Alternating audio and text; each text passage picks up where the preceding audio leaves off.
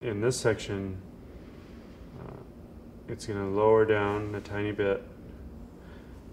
And when I place the paint on the canvas like that, on the panel, um, if there's a color next door, a pile of paint that I don't want to go in to my mixture, I'll make sure that I'm pushing things in the direction that I want to, uh, you know, push the dirty pigment out of the way. So let's say if I take a lighter color and this is a shadow that's existing. So the light comes out and creates surface form on this, on this petal. I want to put down a clean stroke here, but then the pressure of my brush stroke, I'm going to go back and I'm going to lift up the pressure of the brush stroke and I'm going to pull the paint into the shadow. So it creates a little bit of form there. So as you're going, kind of building this thing, you're thinking two-dimensionally, but at the same time you're wanting to kind of arrange the paint in a way that you're pushing sections into one another, and you're, you're kind of taking into consideration the idea that okay, if it's in the shadow, it has to be uh, more transparent, and as it gets into that light, and then I can take advantage of it and just pile the paint on and make it super opaque. So like say that, that section. Uh, comes down into the shadow. I want to lift up the brush, lift up the brush here, kind of carving out this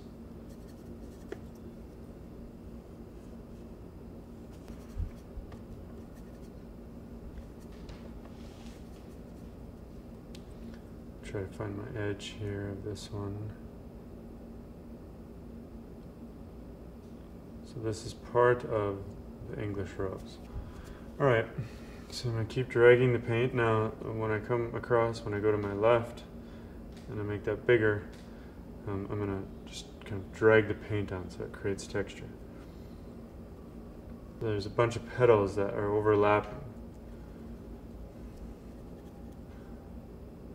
in this section.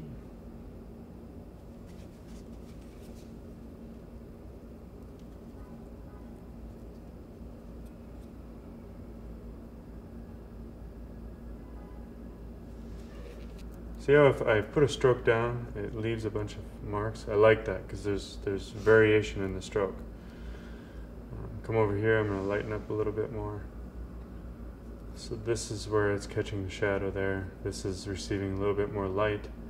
But then in nature, there's a shadow here. But if you never uh, see nature and you're just looking at my painting, my shadow looks like it's to the left. So by just kind of putting that uh, brushstroke down, I'm not going to necessarily adjust that just because in nature the shadow is right here.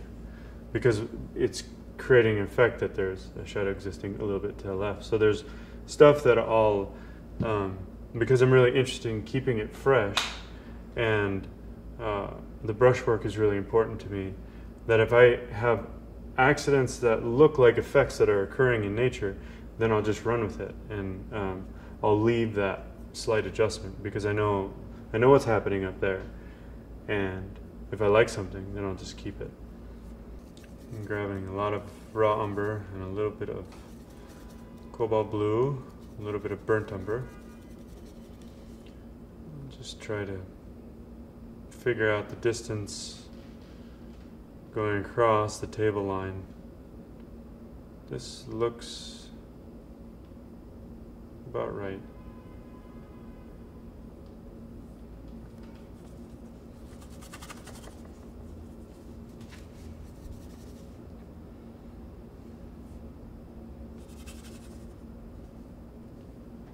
So you can see by um, different ways of manipulating the paint on the canvas, if I want a dark, I can do a solid brushstroke, right?